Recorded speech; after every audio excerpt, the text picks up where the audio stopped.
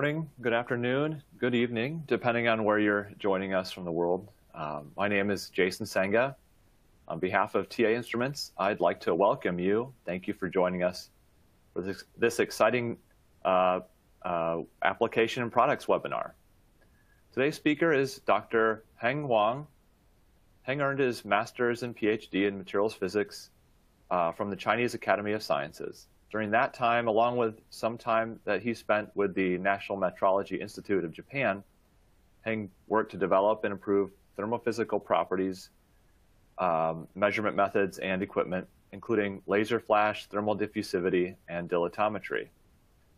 Within the product management group uh, currently here at TA Instruments, he works to help define, develop uh, thermophysical analysis products and, and provide technical support to both our internal and external customers. Today's webinar is going to discuss uh, steady state light flash methods for thermal diffusivity and thermal conductivity measurements. Uh, during this webinar, you can submit questions uh, to a section uh, in, on your screen, the, the Q&A section. Um, and then after the talk, we will try to uh, answer as many of those as we can. Uh, if not, we will, we will certainly um, make sure to reach out to you. And so um, make sure to, to submit as many questions as, you, as you'd like, and we'll, we'll address them either in the session or, after, or afterwards via email. Um, with that, I'm going to hand it off to Heng. Uh, Heng, the stage is yours. Thank you, Jason. Hello, everyone. Good morning, afternoon, and evening. My name is Heng Wang. Welcome to this webinar. I will talk about steady state in the light flash method for measuring thermal diffusivity and uh, thermal conductivity.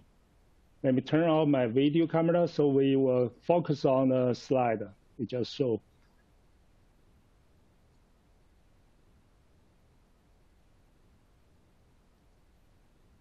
For each method, we'll go through the principle, instrumentation, and application.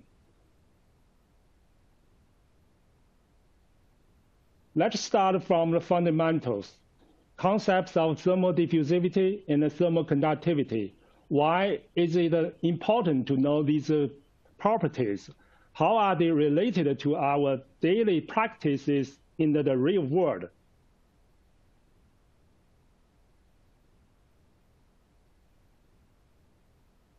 The governing role in measuring, understanding thermal conductivity and handling the heat transfer management is Fourier law. Joseph Fourier was a great French mathematician and physicist in the 17th and 18th centuries. He defined thermal conductivity in a very simple but beautiful way. Thermal conductivity is the amount of heat going through an object per unit of time, per unit of cross area, per unit of temperature gradient. About 200 years ago, Joseph Fourier enthusiastically emphasized the importance of the heat conductivity in sciences and industries, saying the action of the heat is always present. It penetrates all bodies and spaces. It influences the process of the art and occurs in all the phenomena of the universe. Now, let's resonate with Joseph Fourier to understand his transfer more and more with the progress of sciences and industries.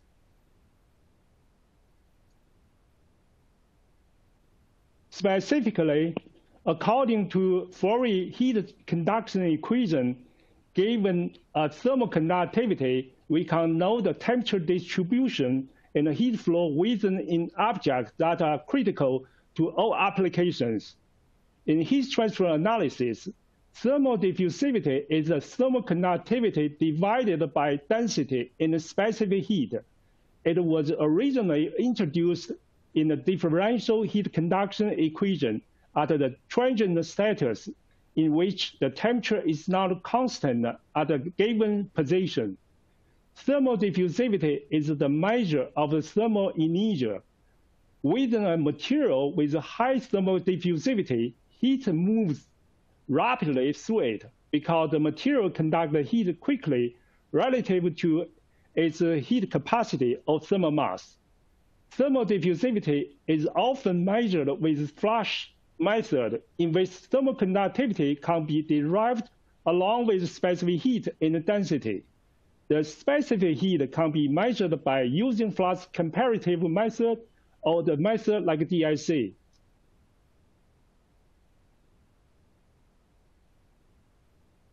There is a wide range in the thermal conductivities of various engineered materials that are caused by different atom, molecule, electronic structures, temperature-dependent interactions of phonons and electrons, composition and formulation, and processing condition.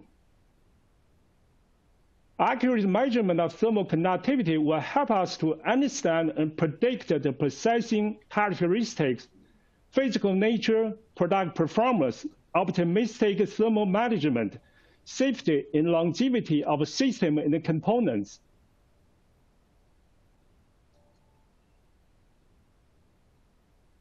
What is the difference between the steady state method and the transient flash diffusivity method? Which method uh, should we choose? Let us have a look at this comparable table to have a sense. First, the mathematical basis is different. In the steady state method, thermal conductivity is directly involved so that it can be determined directly and a time variable is not involved. This gives the steady state method the advantage for measuring heterogeneous materials with low and medium conductivity.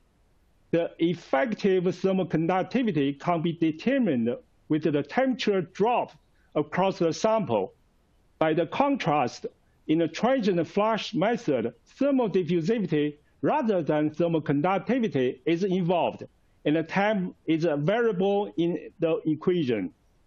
Second, the boundary conditions that are associated with the heat loss are different. In the steady state method, it is required to be constant versus time. In the contrast, for the laser flash diffusivity method, it change versus time. Third, the temperature distribution is stationary versus time at all position and varies various position in the steady state method. But the temperature distribution varies versus time and position in the flash diffusivity method.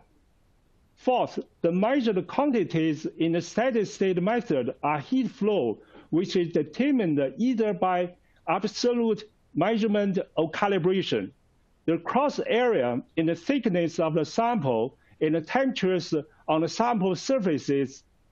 In the case of measuring high thermal conductivity materials, the tiny magnitude of temperature drop across the sample will cause the measurement error dramatically. The diffusivity difficulty at high temperature will make uh, the measurement extremely difficult. In the contrast for the transient flash diffusivity method, temperature change signal versus the time on the surface of a small sample is recorded in a very short time for calculating thermal diffusivity. It benefits the wide range of thermal conductivity measurement in the broad temperature range. This graphic illustrates the thermal diffusivity and thermal conductivity measuring units from TA instruments versus the thermal conductivity and temperature measurement ranges. Fox heat flow meter are used to measure insulating materials. In this webinar, we focus on the DTC 300 and Fox 50 and the light flash thermal diffusivity instruments the DTC 300 guarded heat flow meter and Fox 50 heat flow meter are used for low and medium thermal conductivity measurement below 300 degrees C. Discover light flash instrument are used for the wide measurement range above 0.1 watts per meter Kelvin from um, minus 175 degrees C to 2800 degrees C.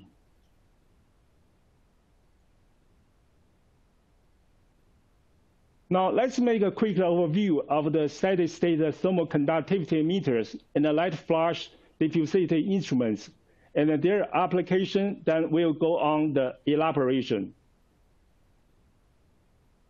For steady state method, first, direct thermal conductivity measurement is highly reliable for polymer in composites. Second, it's ideal for the materials that are difficult to measure using flash diffusivity method, heterogeneous composite, transparent and translucent, porous material, etc. Third, it is flexible to test the wide variety of polymers, glasses, ceramics, and carbon composites, including paste, liquids, thin film, and polymer through melt. For flash thermal diffusivity method, first it can be measured a broadest material from low to medium to high conductivity. Second, it covers the widest thermal uh, sample temperature range from minus 175 degrees C to 2800 degrees C. Third, multiple auto, auto sampler provide a high throughput in accurate specific heat measurement for all models. Fourth, special sample holder make testing material in different settings possible, such as liquid, powder, in plane, laminate sheet, and molten metal.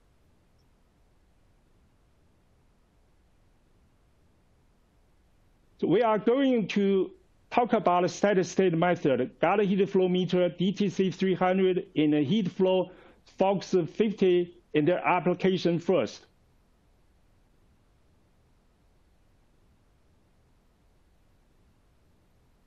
FOX 50 is in accordance with ASTM C518 standard. The plate temperature ranges from minus 10 to 110 degrees C and can be extended to 190 degrees C with the high temperature model. The sample size is 50 millimeter to 60 millimeter in diameters with a thickness up to 25 millimeter. The measurement range can be defined precisely with thermal resistance, which is the sample thickness divided by thermal conductivity. The thermal resistance measurement range is from 0.003 to 0.05 meter square Kelvin per watt.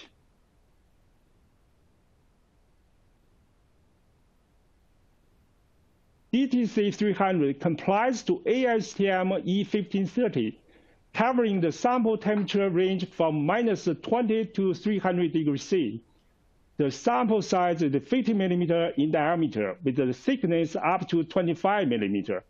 With three interchangeable calorimeter stacks, a thermal resistance from 0.00005 to 0.05 meter square Kelvin per watt is covered, with the sample holders paste, liquid powder, and polymer through melt can be measured. The principle of the Fox 50 is very straightforward. The two heat flow transducers are employed in upper and lower plates and calibrated with the reference sample so that the thermal conductivity of the well-known unknown sample can be calculated with the heat flux obtained by the transducers. By the contrast, the, the DTC 300 employs multiple trans reference samples with different thermal resistance for the calibration to reduce the effect of the interfacial thermal resistance of the samples with the instrument plates to the measurement. Let's see how the DTC 300 works. I'll show you the schematic of DTC 300 on the left. Three temperature reading of the plate surfaces getting involved on calibration with reference samples and calculation on unknown sample. The temperature of the up and the lower plate that sandwich the sample and the temperature of the bottom heat plate. According to Fourier law, a linear correlation exists between the thermal resistance of the sample and the ratio of temperature drop across the sample over that of the calorimeter, as shown in the equation on the right. Running the calibrations with several reference samples of different thermal resistance, for instance, five reference samples of A, B, C, D, E are shown here, will generate a fitted linear calibration line in the coordinate with the temperature drop ratio as the horizontal axis and the sample thermal resistance as the vertical axis. When measuring in unknown sample, projecting the point in the calibration line that corresponds to the major ratio of temperature drop to the sample thermal resistance axis that is the vertical axis, will get the thermal resistance of the unknown sample.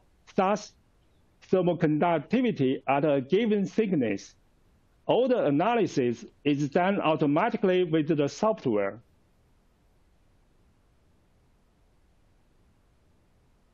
This graphic makes a comparison between the Fox 50 and DTC 300 in temperature range of the thermal resistance in and temperature depending on where you, our sample is located, we can choose either Fox 50 or DTC 300 for our applications.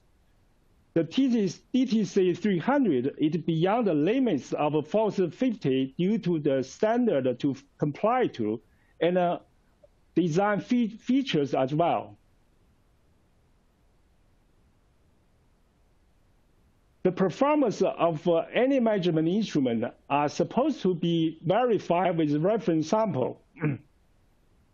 Vespel SP1 is well-defined polymer material that has been used widely as a reference sample in polymer category.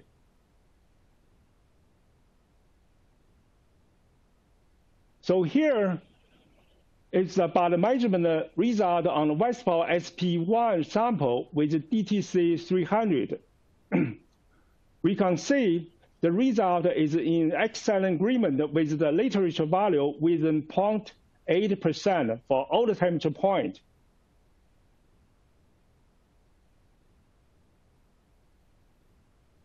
As shown in this picture, the DTC300 Fox 50 has been used to measure many submaterials, such as polymer, rubber, brick, glass, wood, paste, thin plastic sheet, etc.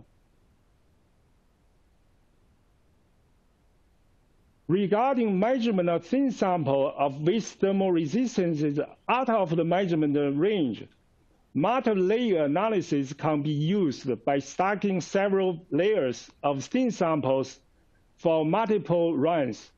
Then the thermal conductivity is a reciprocal of the slope of the fitted linear relation of the thermal resistance versus the thickness obtained in each run. When needed, a reference sample can be further inserted below the stacked samples to increase the total resistance for the measurement to be inside the calibration range of the instrument.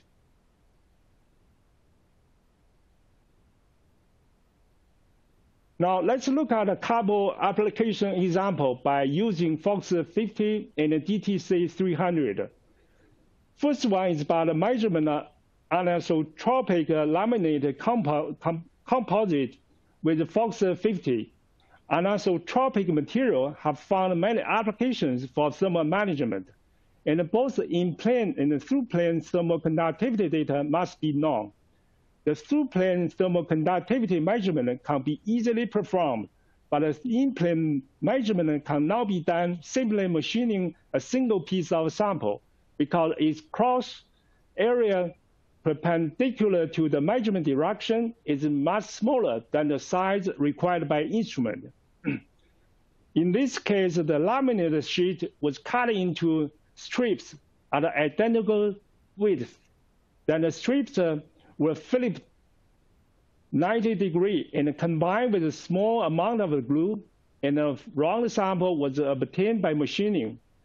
The result indicates that the in-plane thermal conductivity is about three times higher than the through-plane thermal conductivity. That is exactly designed to be.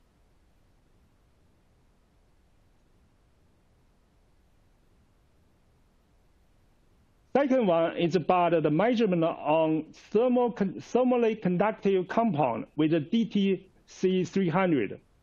This compound is formulation with advanced silicone fluid that interacts with the thermally conductive filler particles to form a highly stable matrix that helps prevent pump out and other common failure mechanisms in electronic industry.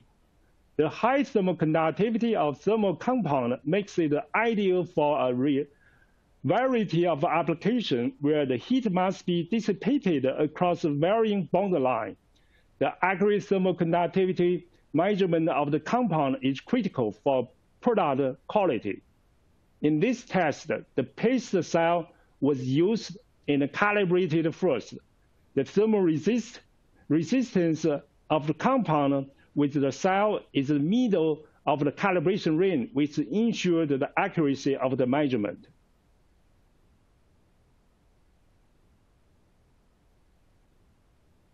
Now let's move on the flash diffusivity method, instruments, and application.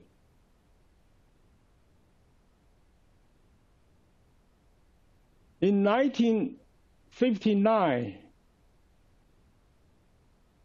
William Parker and his colleagues at the Naval Radiological Defense Lab developed a flash method to measure thermal diffusivity, specific heat in thermal conductivity. They developed a deposit a xenon flash energy shorter than one millisecond on the front surface of the, a disk sample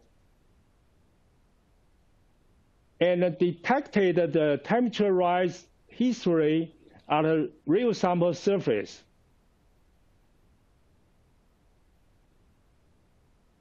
Thermal diffusivity can be calculated with the half time, which is the time for the real surface uh, to reach half a maximum temperature, according to this formula, famous Parker equation, Parker derived this equation by himself based on the differential heat conduction equation, but found shortly it existed already in a classical book named Conduction of Heat in Solids by Carslaw and Jaeger.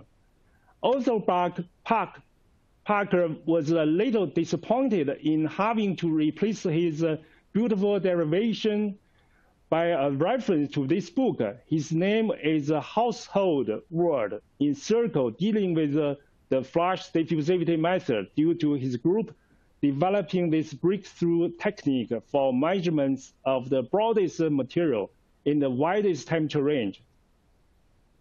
Park's equation assume adiabatic boundary condition, i.e. no heat loss, and instantaneous uh, flash pulse that are not practical with the real physical limitations. Therefore, many models have been developed to make the heat loss correction, and almost mean models have been included in our FlashLine software. All our flash diffusivity instruments have the function of mapping real-time of the flash pulse for the finite pulse time effect correction.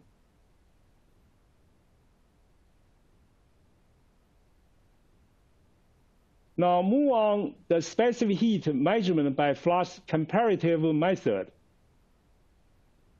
Q in the equations for the reference sample in the unknown sample are the flash energy deposited on these samples. Canceling Q out to combine the two equations gives the equation on the bottom to calculate the specific heat of an unknown sample. The accurate specific heat measurement required the, the same laser power, same thermal environment, in identical surface condition for both reference and unknown samples. The best solution is applying laser power on reference unknown samples without any delay and having reference and unknown sample located side by side in single test. In addition, it's ideal for reference sample in unknown samples to have a similar thermal inertia to reduce the effect of heat loss on the measurement accuracy. Also, the heat loss have been accounted for.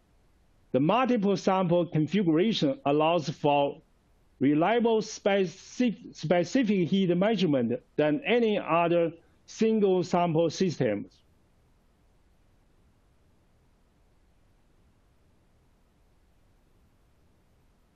The flash source can be either laser or xenon, depending on the sample and the temperature. What are the main differences between them? Laser is infrared monochromatic and collimated, while xenon light is diffused with broad light spectrum. So for xenon flash diffusivity system, we developed a patented waveguide light pipe technique to collect in a collimated xenon source flash, delivering xenon flash energy directly to the sample surface. The light pipe has a temperature limitation of 900 degrees C. Therefore, the laser flash, the diffusivity system are needed at a higher temperature than 900 degrees C. And the laser flash systems also benefit the application of measuring very thick samples of low conductivity and low surface emissivity due to its higher power.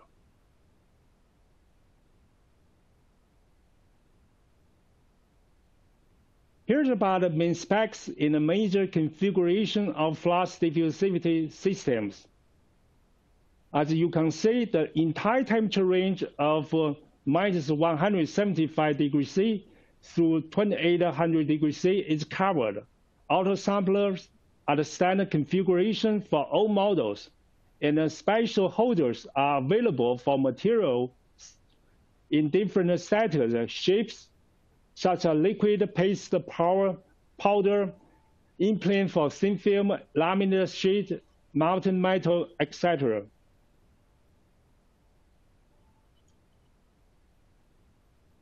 We are excited to introduce the new DXF 200 Plus that was uh, launched in this uh, September with this unique pin contact detector largest flash energy up to 15 joules.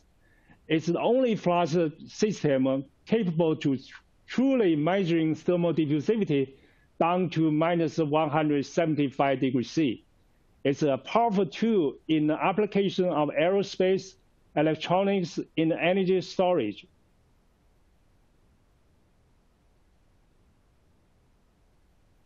So why should the pin contact detector over MCT, which is a, uh, uh, which stands for mercury cadmium telluride infrared detector at a cryogenic temperature. This is the comparison of the raw thermogram signal generated by the pin contact detector at a minus 175 degrees C with that by the MCT at minus 80 degrees C on the same copper sample in the thickness of 5 millimeter. The signal to noise ratio of the thermogram at minus 175 degrees C by the pin contact detector is even eight times better than that at minus 80 degrees C by the MCT infrared detector. The ratio of signal to noise of thermogram at minus 80 degrees C by the MCT detector in this case it's about just two. That's not acceptable for reali uh, reliable result.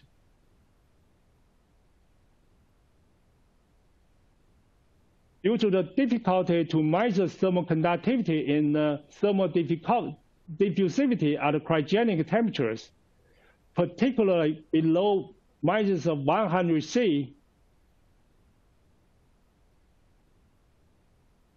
there may be some approaches to obtain the data by extrapolating the data points at high temperature points to the lower temperature. However, it will cause significant error because thermal conductivity and thermal diffusivity can vary quicker, strongly depending on the impurity in the structure changes at cryogenic temperature. On the left is an example of the copper. The lower the temperature, the more scattered the thermal diffusivity and thermal conductivity due to slightly change in purity. Thermal conductivity data of the copper at minus 173 degrees C can range from 420 to 520, uh, 500 volts per Kelvin meter, as shown left. Also, there is no significant change at minus 70 degrees C. Thus, the actual measurement at a cryogenic temperature range are required for the safety in engineering application.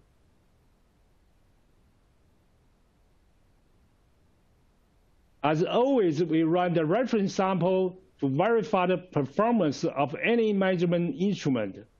This is the result of stainless steel 304L obtained with the DXF 200 plus. The result is an excellent agreement with the reference data within 2.9% at all temperature points. The stainless steel material is widely used as various components in aerospace air, in uh, aeronautics industries.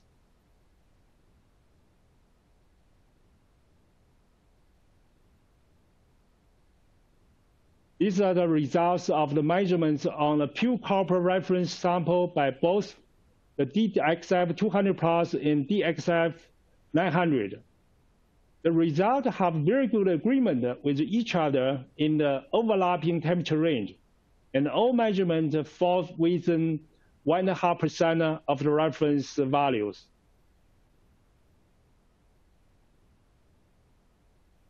Now, let's talk about the performance of a high temperature laser flash system, DLF 1600. This is about the measurement of three thermograph reference sample in three different thickness up to about 10 millimeter in a single test from room temperature to 1600 degrees C. The excellent agreement of the result regardless of the thickness and a clean thermogram of the 10 millimeter thick sample at 1600 degrees C display the excellence of the DLF 1600. First, the furnace temperature is stable even for long measurement time up to over 10 seconds. Second, no disturbance is observed in thermogram, meaning pressure gas flow was uniform even at a maximum temperature of 1600 degrees C. Third, the mathematical model for calculation of thermal diffusivity has been taken care of the lateral heat loss very well.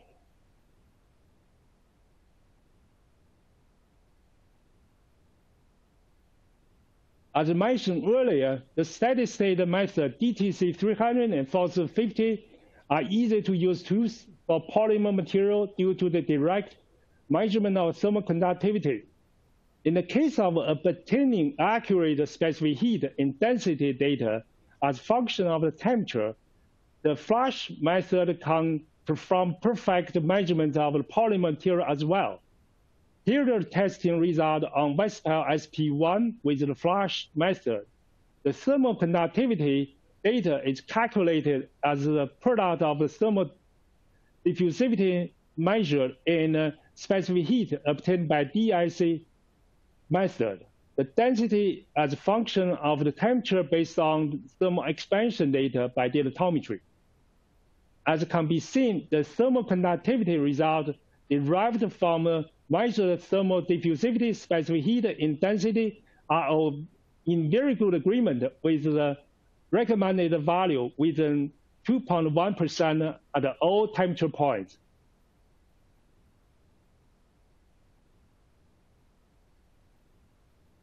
The accurate measurement of thermal conductivity by flash method at high temperature requires the accurate data of the all involved per, uh, properties of thermal diffusivity, specific heat, and density as a function of temperature. The density data is based on thermal expansion as a function of temperature. Conventionally, three samples in different sizes or shapes from the same material are required by flash diffusivity machine for thermal diffusivity, DSC for specific heat, and push-rod dilatometry for expansion, i.e. density. This causes additional temperature, uh, additional time and material consumption when preparing samples, particularly in prototype stage that sample is not available in large size. Pairing the flash diffusivity instrument in optical non-contact dilatometer DIL 806 from TA instruments makes it possible to obtain the multiple thermophysical property, thermal diffusivity, specific heat, expansion to derive accurate thermal conductivity with just uh, one single disk sample.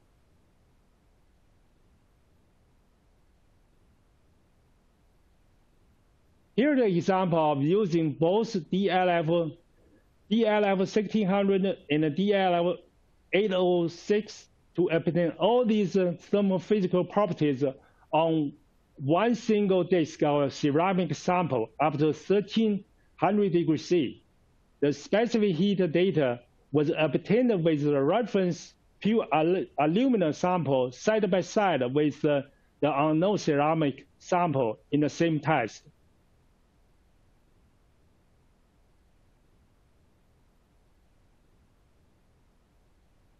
Graphite materials have been used across a wide range of industries, such as environmental and energy, electronics, metallurgical and aerospace, etc. Their basic applications include industrial furnaces and ultra-high temperature heaters. In order to identify the performance of heat distribution and thermal shock resistance, the evaluation of thermal diffusivity on each graphite product, and a statistical study on uniformity of lot to lot, block to block, rod to rod, and piece to piece variation are very important for both fabrication research and quality control. These graphics show the measurement performed by the DLF 2800 on the isotropic graphite materials of six samples from two different lots in a single test, covering the entire temperature range from room temperature to 2800 degrees C. Thanks to the high precision and accuracy of uh, the DLF 2800 and uh, the single difference, uh, slight difference, uh, even just uh, one or 2% among these samples can be distinguished.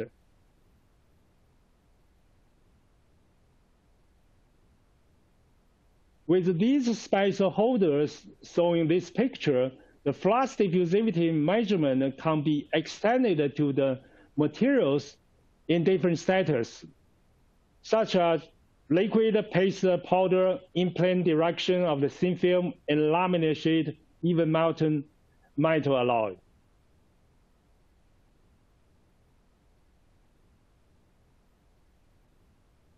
In metal production, metals are first melted and then undergo different forming processes, such as casting and then continuous casting.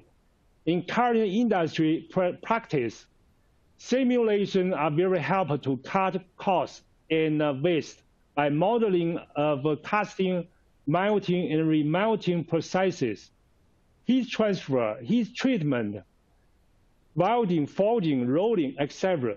A key limitation to the successful introduction of the models is the lack of the thermal diffusivity and conductivity data.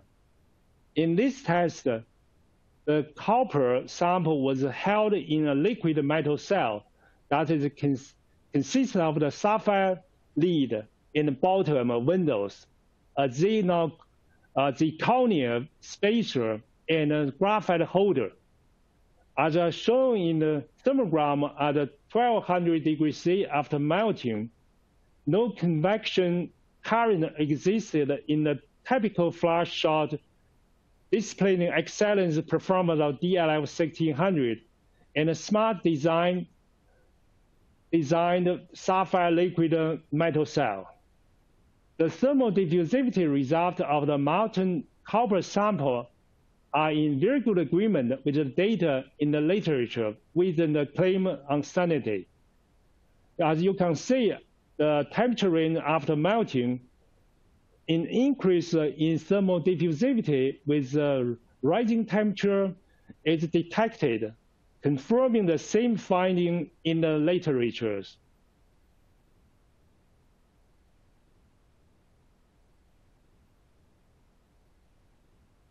As mentioned earlier, in the section of DTC 300 in the FOX uh, 50, the in-plane thermal conductivity measurement of anisotropic laminated sheet can be measured by thermal preparation. Similarly, it can be done in the flash diffusivity instrument with laminated holder. Shown here, the verification test on laminated Vespel pieces was carried out displaying no flash through between adjacent pieces in leading to the accurate result.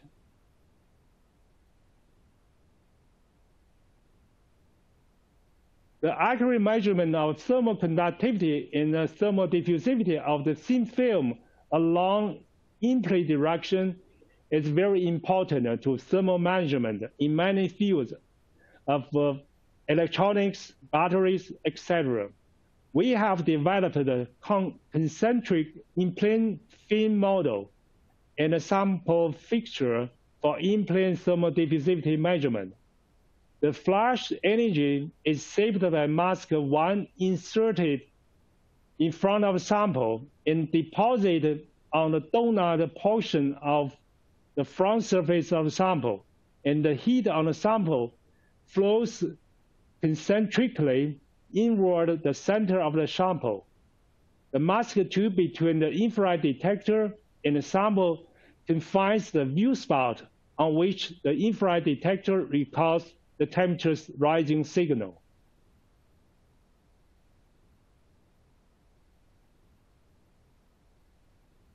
Here are the measurements results on copper thin sample in different thicknesses from 25 microns to half millimeter, of which all the results agree with the reference data perfectly, proving the validity of the model in the sample fixture.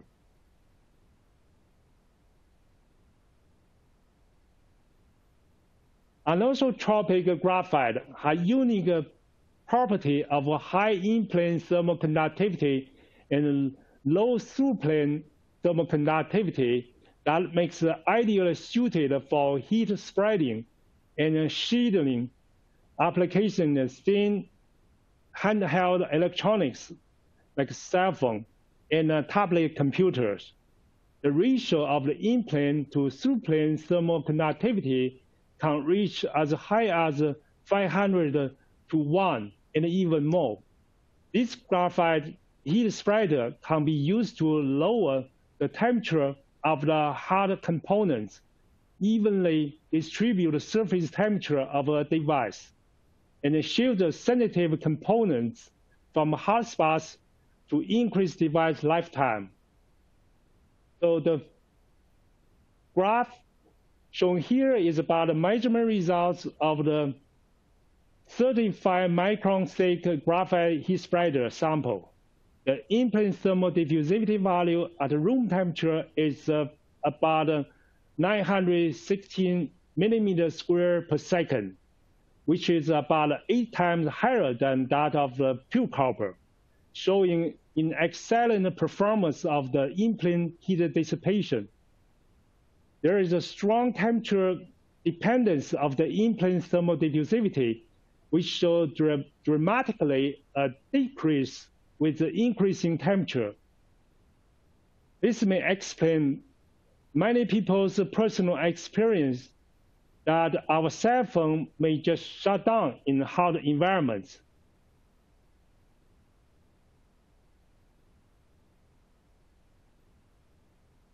The powder bed metal additive manufacturer, AM, has been very hot research area in recent recent years that utilize high energy heat source such as laser scanning at the surface of the powder layer in a predefined area to be melted and solidified to fabricate part layer by layer. AM is primarily a thermal process. In the further heat conduction is a dominant heat transfer model in the process. So this picture on the right bottom shows the titanium alloy 64 powder sample in the powder cell after testing up to 15 degrees, 1500 degrees C by DLF 1600. Thermal conductivity calculated with the thermal diffusivity result obtained from this test is, is consistent with the result obtained by a joint research group in University of, of Louisville in National Institute of Standard and Technology. Now, let's have a look at uh, their approach.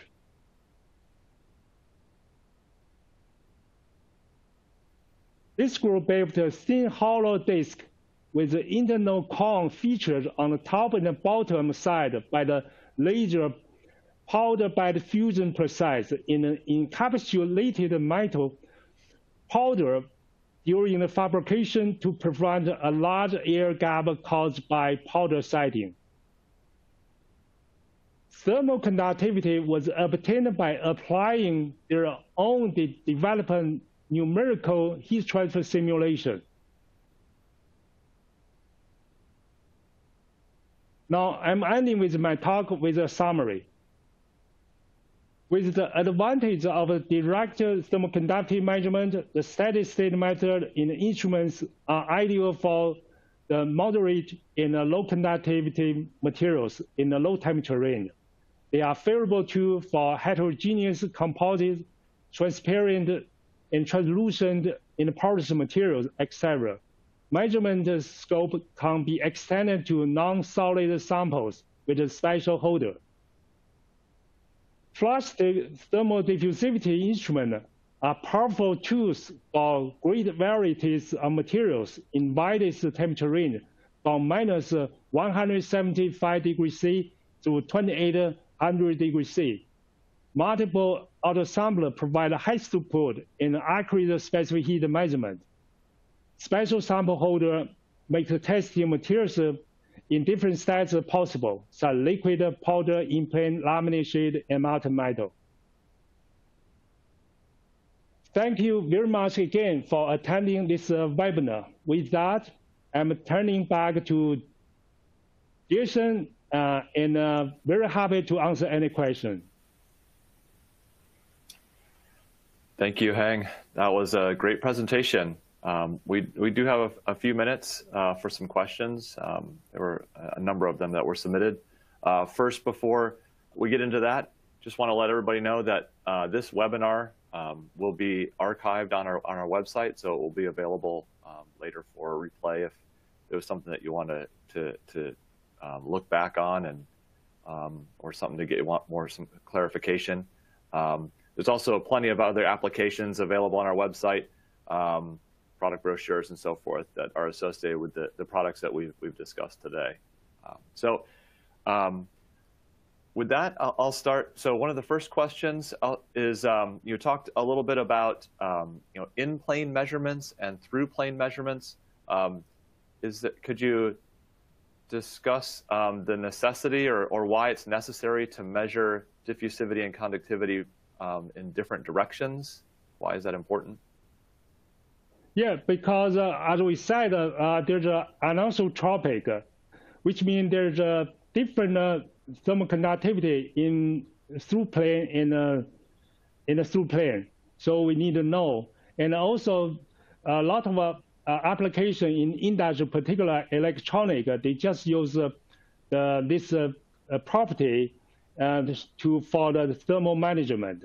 Yeah, so we have they needed to know both direction, thermal conductivity in uh, in plane and uh, through plane. Yeah, and also for like a, a regular uh, polymer, like a fiber reinforced uh, composite material, uh, even with the thickness of uh, over one millimeter, two millimeter, that range. And the sample I show here, like yeah, this one is like a, a 20, 30 micron millimeter in thickness. That particular uh, have been used in everybody's uh, cell phone right now as a heat spreader. Yeah, it's kind of passive uh, heat dissipation, and that's just uh, make our cell phone lighter, much lighter. Yeah. All right. Thank you.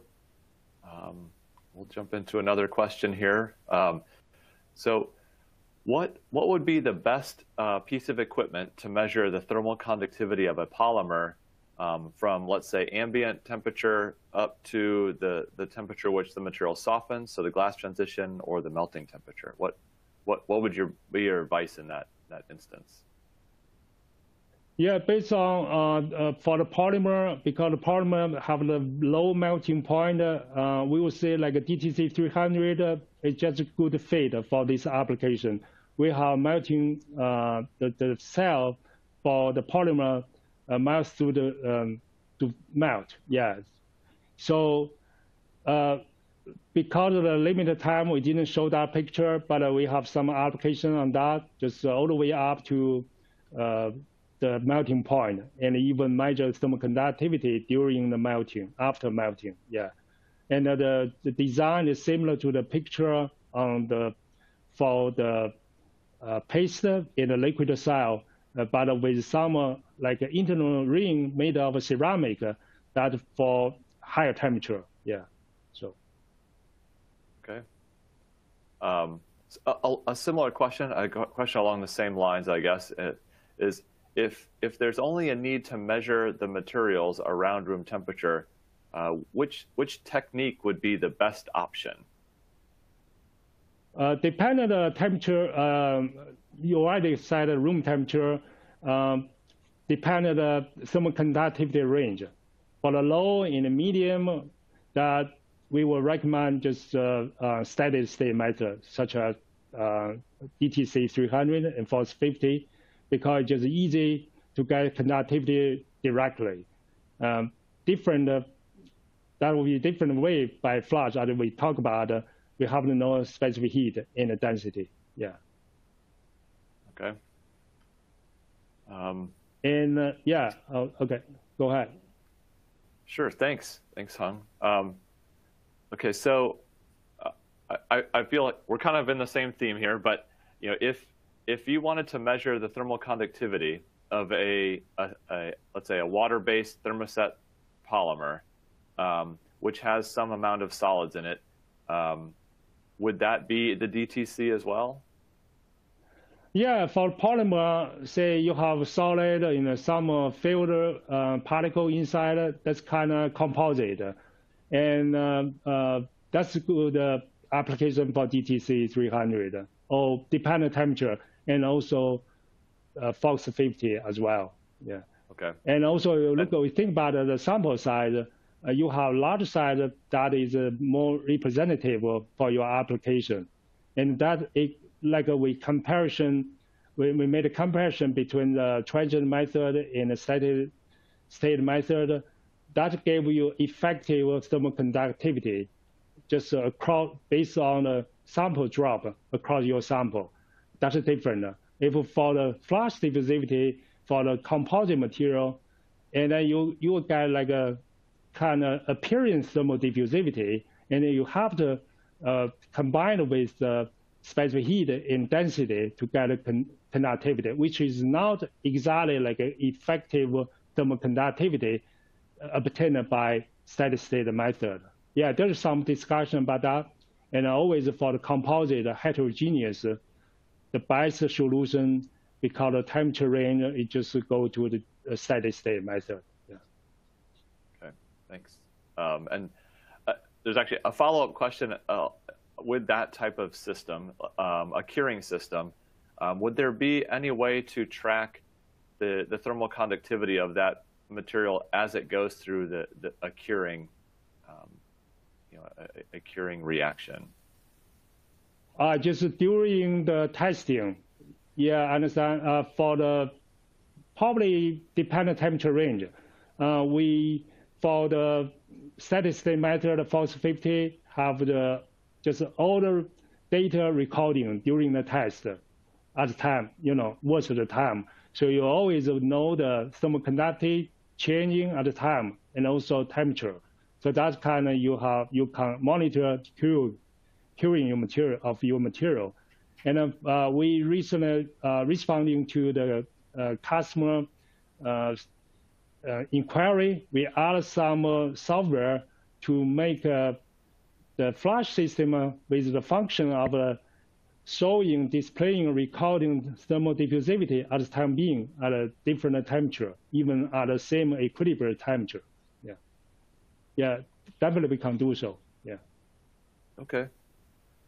Um, and uh, so uh, with that, I, unfortunately, I think we're going to bring the question and answer session to a close. Um, I, I, know there, was, there are a, a, few questions that we weren't able to get to, um, and we will certainly uh, respond back to you um, in the next uh, day or so uh, and try to get you an answer or just to get maybe just to get some clarification um, on some of the, the questions that were there. Um, so um, with that, I, I certainly want to thank everybody for their attendance today. I certainly appreciate um, you joining us today for this webinar. Um, and, uh, you know, like I said, you know, make sure to, to check out our website for this archived webinar as well as other applications notes and, and webinars that, that are, um, you know, that, that TA has been hosting. So um, we look forward to, um, uh, look forward to you joining us again in the future. So thank you very much, everybody. Thank you very much, everybody.